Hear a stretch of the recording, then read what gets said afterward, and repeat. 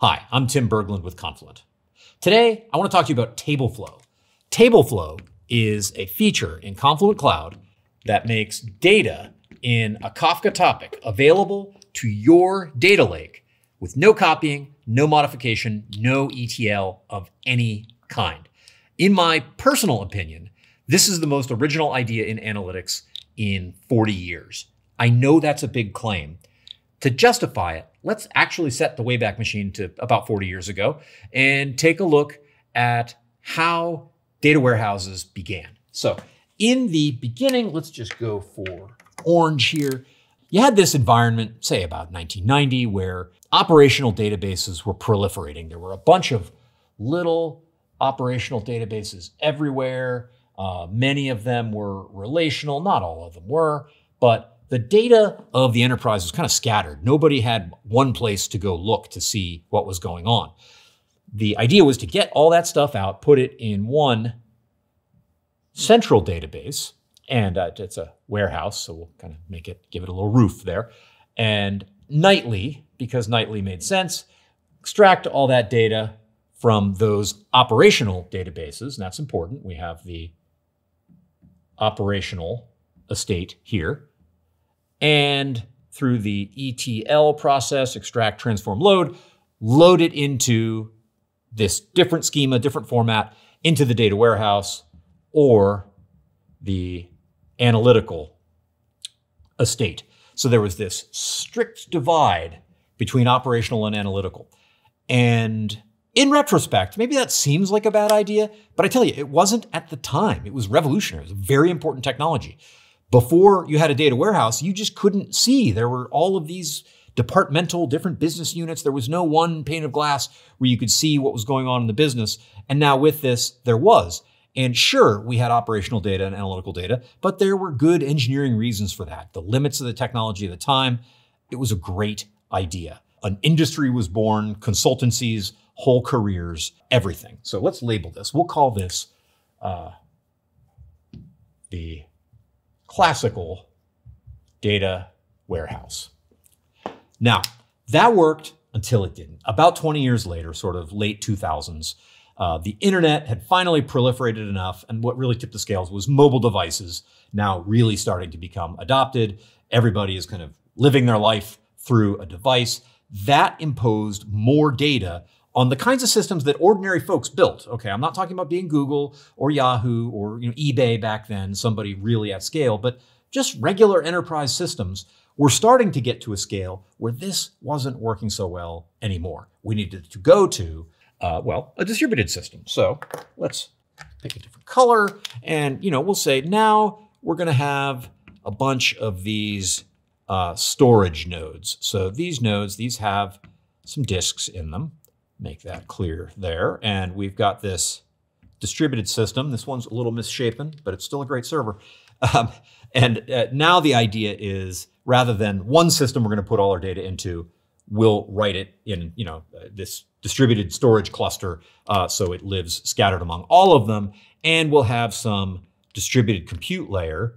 I will rec I will uh, symbolize compute with that right there, some distributed compute layer that will distribute jobs to go run and, and you know, perform queries, okay?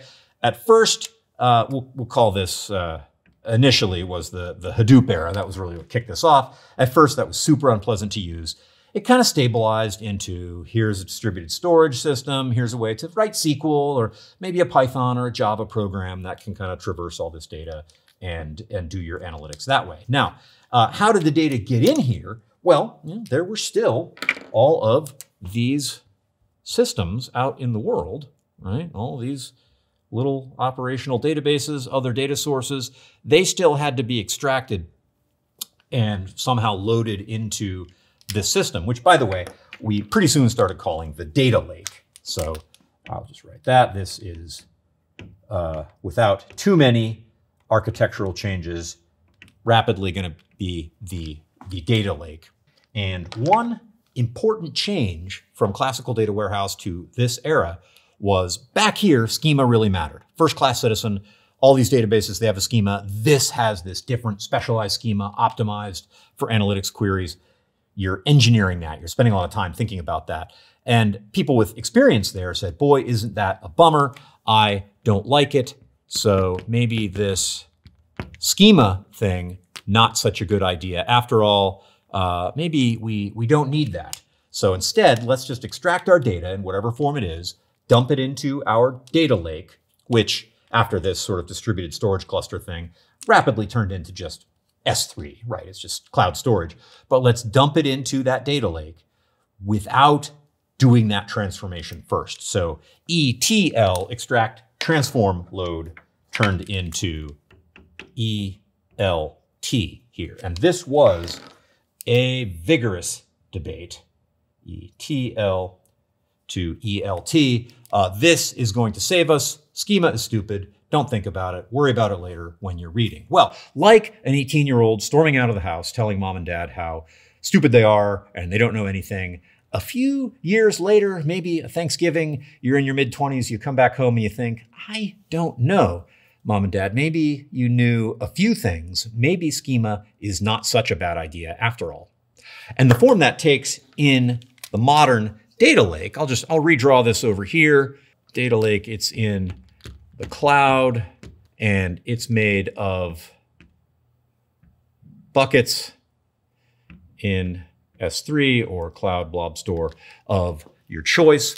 Something has emerged in the last few years as we've realized storming out of the house, cursing schema was probably a mistake. We still really want to know the format of things. In the relatively less structured world of the data lake, the open table formats have started to emerge. The open table formats are a way of exposing the data in the data lake, well, as tables, things with column names and data types. That's, that's schema. So yeah, these open table formats, super important, new innovation, relatively new innovation. You've got things like Apache Iceberg, quite popular. You've got the Databricks uh, Delta Lake format. These are open source things that allow us to apply schema to the data in the data lake and have a, a querying interface. Bunch of neat things happen here. Number one, there's a little bit of maturity here and realizing that I know schema is hard. I hate schema migrations. I don't know who doesn't. I hate data modeling discussions. I don't hate them, but you know they can get a little out of hand. Uh, but they're really necessary to, to keep control over this. So you know that maturity is good. Uh, the other nice thing is that now this gives us the ability to do a little bit more decoupling. Uh, I'm going to choose to store my data somewhere. I'm going to pay for that cloud storage. I'm probably going to pay for somebody to operate uh, a compute layer that runs on top of that to execute queries that are written in, in Python or Java or SQL or whatever it is I want. Uh, now, though, with this open table format layer, uh, I'm able to decouple that query processing layer, whatever tools I have to to execute those SQL queries or whatever they are, there are options there, right? Now I get to make that compute layer choice a little bit independently of the storage. It lets me as an architect, as, as an engineer, really mix and match according to the constraints I have. But if all of this is in one vendor's closed ecosystem, gives that vendor a lot of pricing leverage, could result in a blizzard of charges that could leave you feeling chilly, and nobody's got time for that. But where does TableFlow come into all this? Well, consider how does data get into a data lake these days? It's kind of waving my hands. You know, there's this, you take it from places and put it in here. Back in the day, it was ETL tools. I think, you know, we all kind of know, right? What's it going to be? It's going to be a Kafka topic, right? This is almost certainly Kafka that's feeding the data lake. What's feeding Kafka? You know, it could be a legacy system. You could have some microservice feeding another topic, right? Uh, that is feeding the data lake. Uh, it's just here's my life, and increasingly, a lot of this data, Kafka is the substrate for my operational data. And still, if you look at what classical and this kind of middle phase of data lake life had in common, it was always taking the data from over there and copying it to over there. Extract, from the operational estate, load into the data warehouse. Extract from out here, wherever, load into the data lake. Take it from there, put it there. Now that costs money to move. Okay, it's not free to move data. It takes time even with real-time infrastructure like this, we're still going to add uh, latency. And you're taking data from its operational context and moving it somewhere else. You will lose context in that transfer. Uh, all of this schema information is not coming along for the ride. These are different people with different career paths, different professional identities, building this and building this. And it kind of doesn't matter how hard you try. You're going to lose context as this data moves from here to there. And then you have to reassemble that context over here, and that's expensive. And you have to clean that data, right? That's always a thing. Uh, you know, whatever's coming out of this legacy system, it's not what you're going to want for your, your final data and your gold tier that you're ready to serve. We know that. Whatever this microservice is producing, we love this microservice. It works very hard. It's doing great work, but there are going to be dimensions that are not conformed uh, among other sorts, you know, whatever is going on. You know that's going to have to happen. And if you load this in there blind, as the classical bronze tier, uh, you, you, don't always do that cleaning once. Often, uh, the dimension conforming, the deduplication, the, there are different gold destinations that can introduce efficiency, can cause you to do that cleaning more than once over here, still potentially paying for that compute uh, over and over. Uh, and that's a problem. So TableFlow, fundamentally what it does is takes this data in this topic and exposes it as an open table format. This data in this topic, here you go. It's iceberg, it's Delta Lake. I can, I can query using uh, the tools that are compatible with these open table formats, the actual data in this actual topic. That's not that it's copied somewhere else internally inside Confluent Cloud and we just hide that. It's that this topic is actually stored inside Kora, that's Confluent's Kafka engine inside Confluent Cloud, actually stored in a way that is natively compatible with the open table format. Now, out here, as a producer, as a consumer, you know, I don't know anything about open table formats. I'm just an application or a change data capture process or something. So of course, Confluent Cloud is exposing all the same semantics, all the same APIs. It's just Kafka, but it is exposed and natively stored as one of these open table formats and therefore directly accessible to the tools you're using to query your data lake. So first and foremost, what does that do? That means you have literally no ETL. I said at the beginning, TableFlow is a feature of Confluent Cloud that, makes your data and your topics available to your cloud, data lake, no copying, no transformation, uh, no ETL at all. That's true. So here, when I said this is the most original idea in analytics in 40 years, this is what I mean. This involved copying. This involved copying. Copying is not just moving bits. It's destroying context and having to recreate it later. No more of that. This uh, all relies on built-in features of Confluent Cloud. Where does the schema come from? Well, of course, we've got Confluent schema registry. Just trust me on that one. So schema registry that's uh, providing the schema for these tables, which is a thing that we know we need. It's already in there in Confluent Cloud, and hopefully you're already using that to manage the schema in your topics. So it should be a pretty easy path to enable TableFlow, taking advantage of the schemas that hopefully are already in use. And I was talking before about how, you know, okay, this data maybe is not exactly perfect and clean and deduplicated and all the dimensions are conformed and, and all of the normal problems of moving from the operational to the analytical state.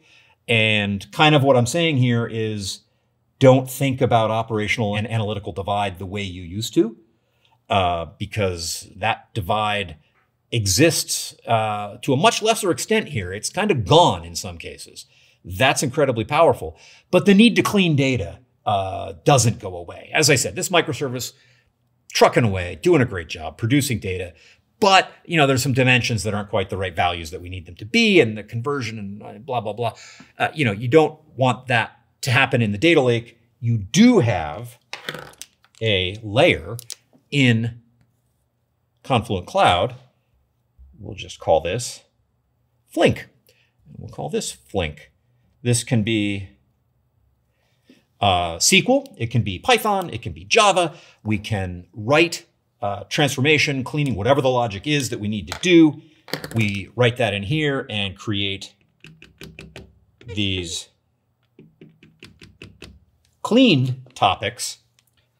And honestly, you know, what would be the odds that exactly the topic you need to create the table that you want to expose as your silver tier? What would be the odds that that already existed somewhere in this operational estate? You're going to have to do some of that work. But the great news is you get to shift it left rather than here.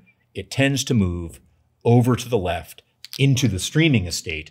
So this work gets done here. And now these are the tables that get table flowed, or rather the topics that get table flowed and exposed to the data lake if these native topics are really not ready. You could kind of think of that as an equivalent of these being bronze and these being silver and you know apply that same medallion architecture now to topics exposed as tables. Now I said this is the most original idea in analytics in 40 years. I don't think anybody's really proved me wrong yet. Maybe you will. You could do that in the comments. I would love to talk about it. And even more, I'd love for you to try it. There's a code in the description. You can sign up for Confluent Cloud if you haven't yet. Use that code. You're going to get a free trial period. Set up some connectors, ingest some data, however it is you get your data into Confluent Cloud. Expose those topics as Tableflow topics. Use this to connect your query engine directly to Kafka topics and see how it works for yourself. I think that's the ultimate test, and I would love to hear how it goes. And as always, I'd love to hear what you build. Thanks.